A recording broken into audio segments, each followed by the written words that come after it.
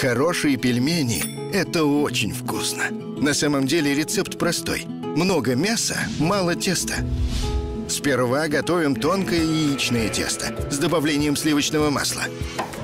Лук сладких сортов для образования бульончика и перец. Совсем немного. Щедро выкладываем великолепный рубленый фарш. Много мяса, мало теста.